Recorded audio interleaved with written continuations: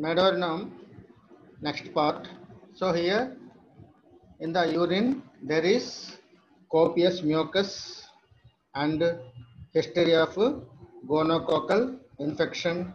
So due to gonococcal there is inflammation of the bladder and sometimes this gonorrhea may affect the prostatic gland or kidneys and renal colic and parenchymatic inflammation of the kidneys and here copious pale urine and frequent urination at night losses urine in bed inactivity of the bladder and feeble stream of urine it has cured many cases of polyuria so there is a and there is a suppressed gonococcal infection and then these, these urinary symptoms are appeared.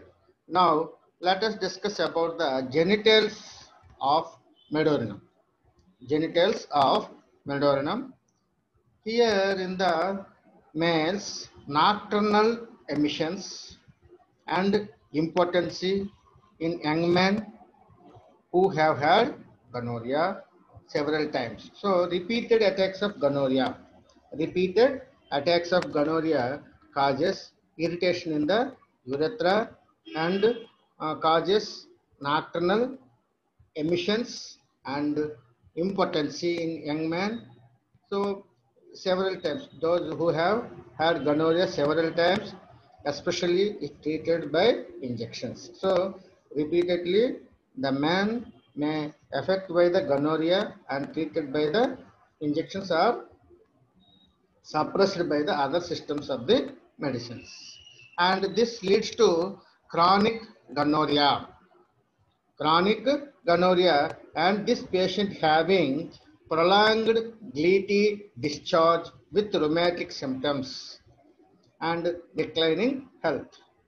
So this leads to this chronic gonorrhea causes prolonged gleety discharge with rheumatic symptoms and declining health.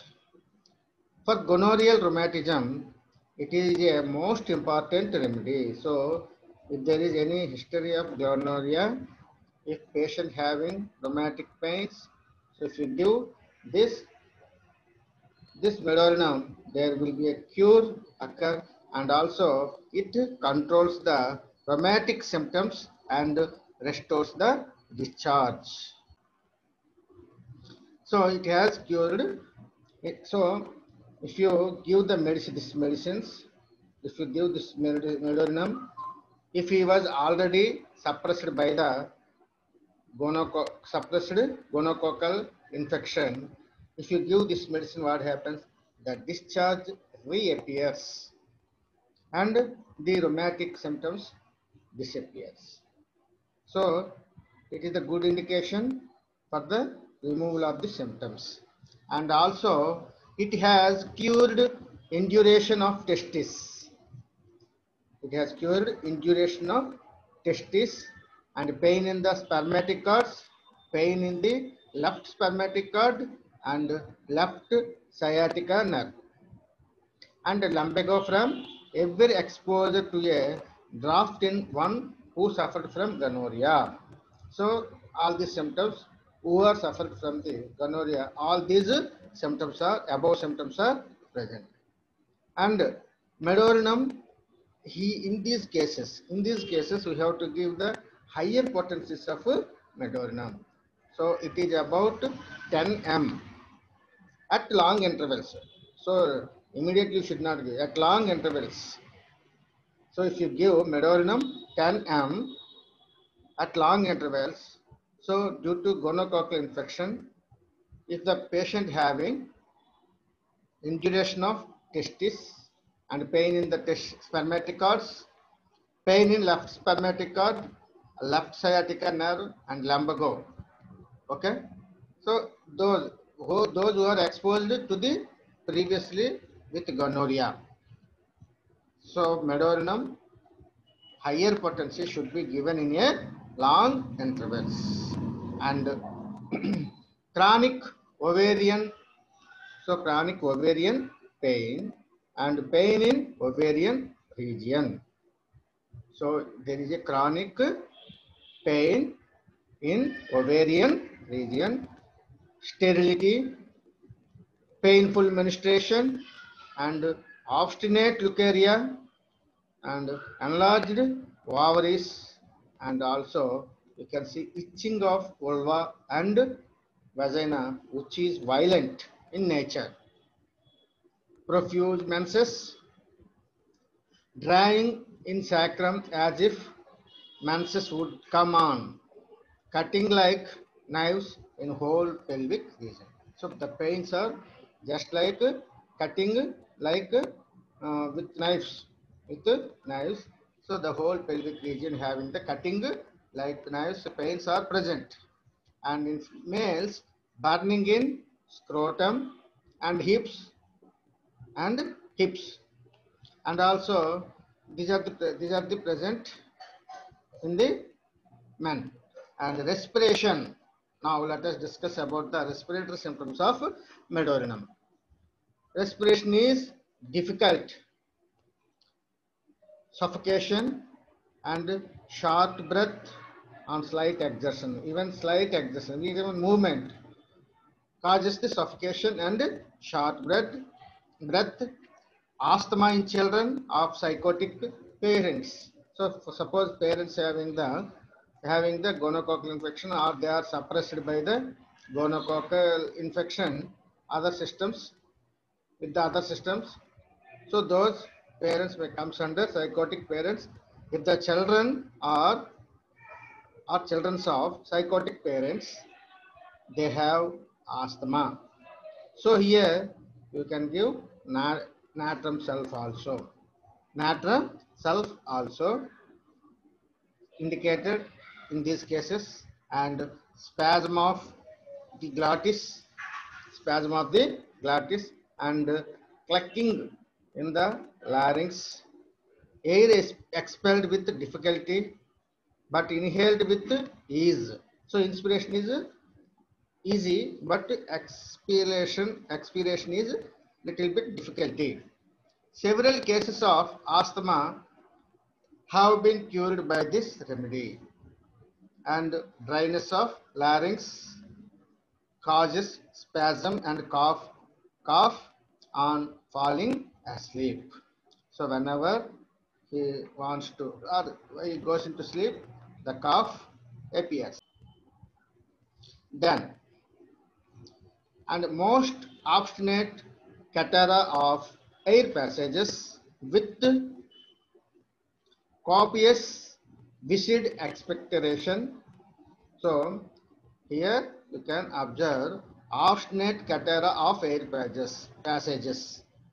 So, there is the excessive secretion of mucous membrane of air passages with copious viscid expectoration cannot cough cannot cough deep enough to reach the phlegm cannot cough deep enough to reach the phlegm here so the sufficient amount of sufficient amount of mucus should be there to expel out. So there is a sufficient amount to expel the phlegm. So another drug here you can think causticum and the cough is ameliorated by lying on abdomen. Cough is ameliorated by lying on abdomen. And it is aggravated at night. Aggravated at night.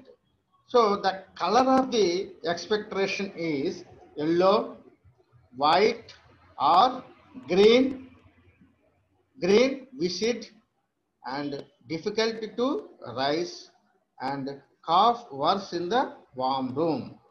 So here the color of the color of the expectoration is white or green, yellow and viscid and difficulty to rise cough worse in a warm room and and the patients looks like a sick so the always seems to be the patient by seeing the patient the patient is sick, pale, and walk stooped as if about to go into phthisis. As if about to go into phthisis. Dry cough with rattling in the chest, rattling in the chest, great heat, even burning in chest, many pains in chest, rheumatic pains.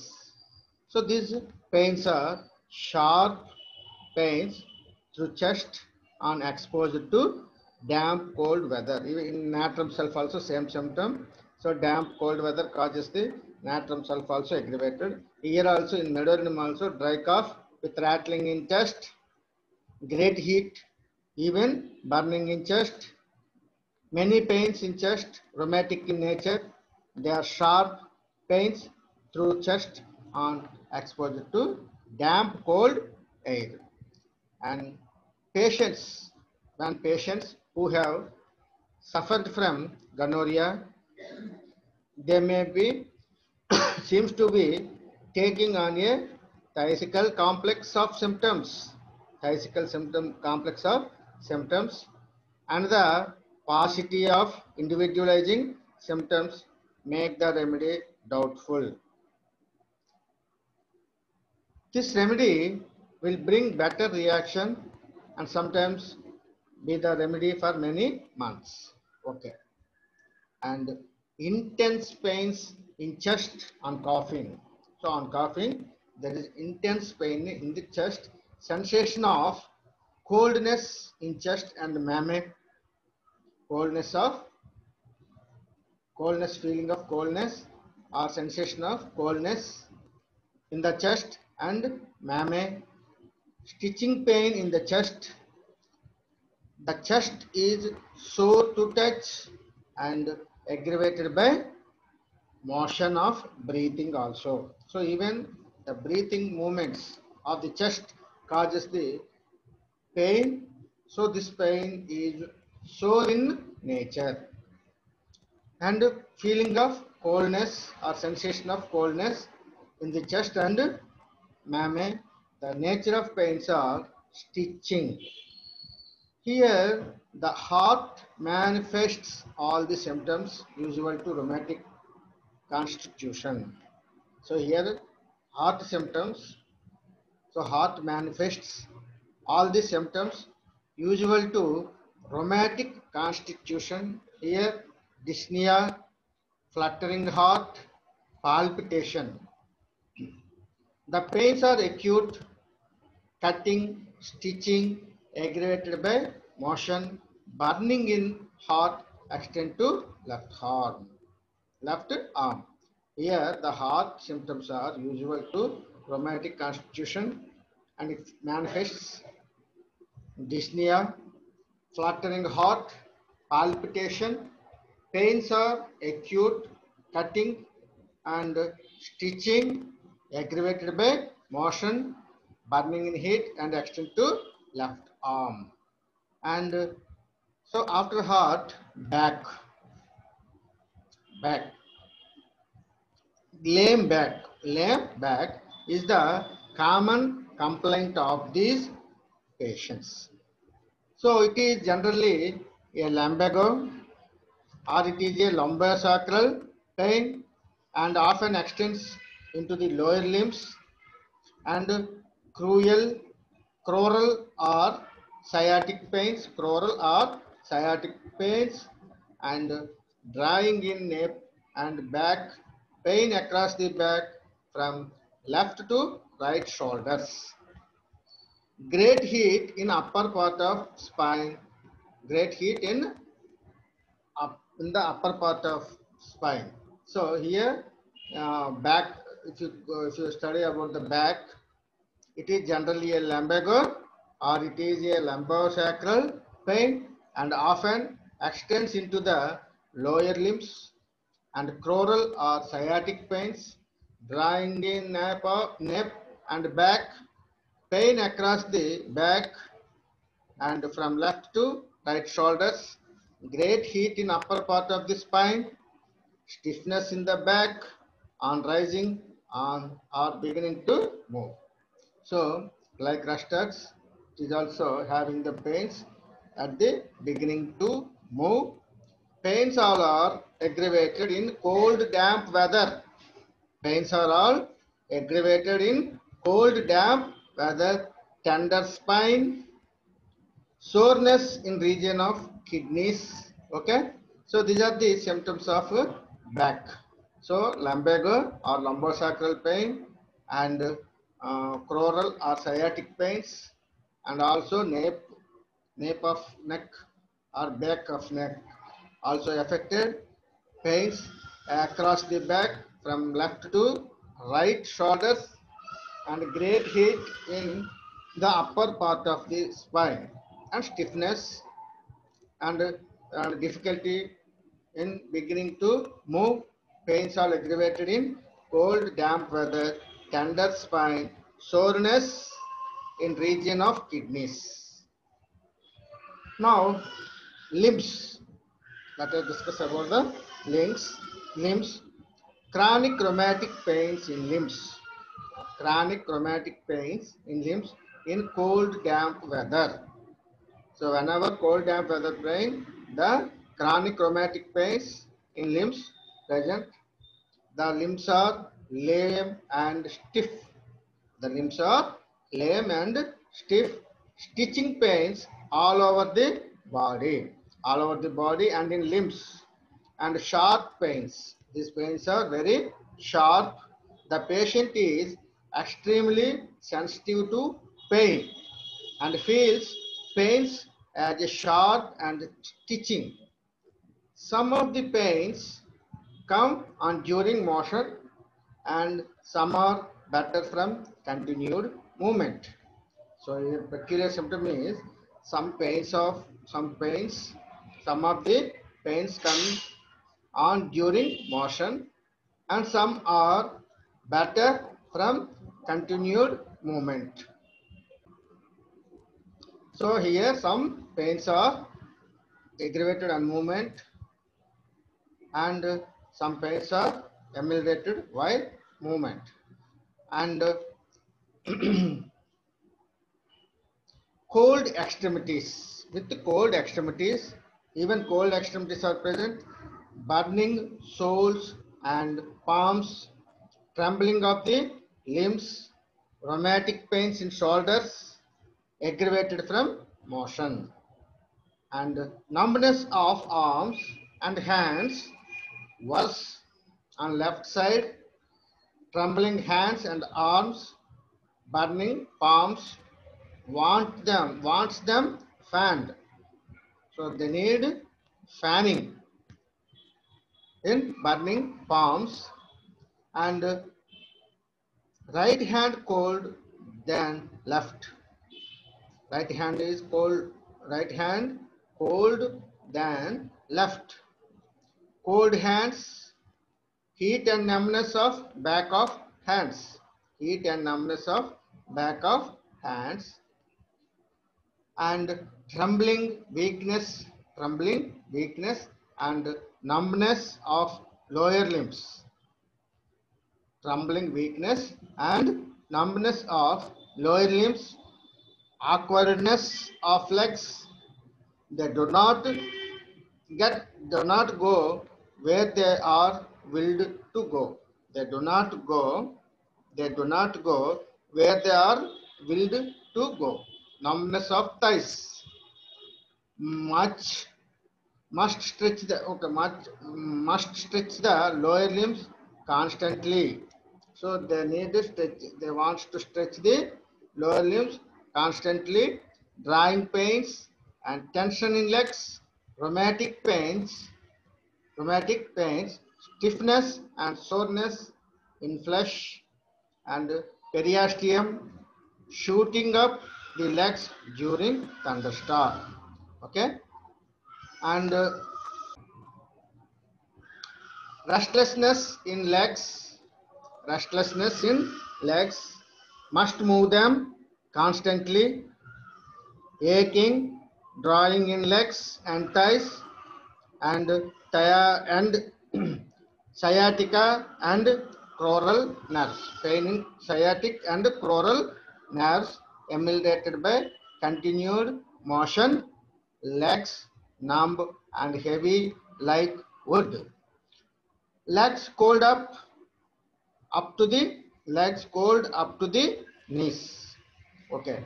Contraction of muscles of posterior part of thigh. Contraction of muscles of, of posterior part of thigh down to knee. Cramps in soles and calf, calf, calves, calf muscles, calf, muscle, calf muscles. Weak ankles, burning feet, wants them uncovered and fanned. So desires fan for the feet. Whenever the feet is burning, they desire for fanning. Legs swollen to knees and pit upon pressure. Sore, bruised legs, ankles and soles, ankles and soles. Soles sore and bruised, look blue. He cannot walk on the slow soles, swelling and itching of the soles. It cures the tenderness. It cures the tenderness in the soles. So, all these are having in the chronic gonorrheal rheumatism. So, whenever in medonia, where, wherever you see the symptoms, it is related with the gonococcal suppression. So tenderness of soles, so that we had to walk on his knees and cold, sweaty feet. Cold, sweaty feet. So these are the symptoms of uh, extremities. Then let us discuss about sleep. Sleep. He can sleep only on the back with bands over the head. He can sleep only on the back with bands over head. Sleeps on her knees with face forced into the pillow. So this patient sleeps or sleeps on her knees with face forced into the pillow. Now you can uh, think what is the position now. Terrible dreams of ghosts and dead people. Terrible dreams of ghosts and dead people. She dreads, so sorry, she dreads the night. So fear all the night. Sleepy, but cannot sleep. Sleeplessness, four part of night so early hours of the night she is uh, sleeping. But latter part of the night sleeplessness copious night sweats. Copious night sweats. Okay? So this is about medorrhinum